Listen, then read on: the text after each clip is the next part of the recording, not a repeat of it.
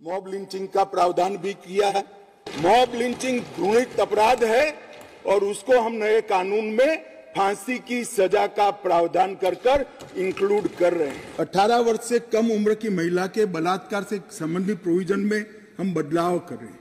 अब POCSO apply करे न करे, बलात्कार करने मात्र से पॉक्सो की सभी धाराएँ ये न्याय संहिता के माध्यम से लागू हो जाएगी और उनको सजा 18 वर्ष से कम आयु की बच्चियों के मामले में आज जीवन कारावास और मृत्यु दंड का प्रावधान हमने किया है मान्यवर गैंग रेप के मामलों में 20 साल की सजा या ज़िंदा रहने तक की सजा का प्रावधान किया है और 18 वर्ष से कम उम्र की स्त्री के साथ बलात्कार में फिर से फांसी की सजा को हमने यहाँ पर रखा है। पहली बार नरेंद्र मोदी जी ने ऐतिहासिक निर्णय किया था, है कि राजद्रोह की धारा 124 क को पूर्णतया समाप्त इसको हटाने का काम किया। हमने राजद्रोह की जगह देशद्रोह की स्थिति रखी। इस, अब ये देश आज़ाद हो चुका है।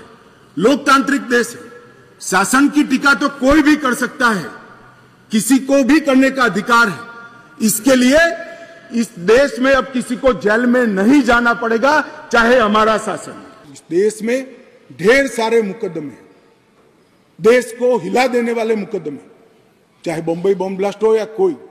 और वो लोग पाकिस्तान में या कहीं और देशों में शरण लेकर बैठे हैं, ट्रायल नहीं चलती है, मान्यवर। अब इनके यहाँ आने की ज़रूरत नहीं है।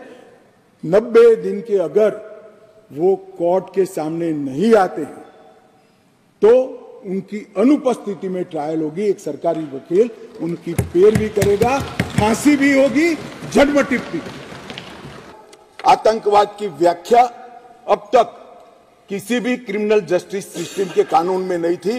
पहली बार मोदी सरकार आतंकवाद को अब व्याख्यायित करने जा रही है, जिससे इसका कोई लूफोल्स उठाकर आगे फ़ायदा न ले पाए।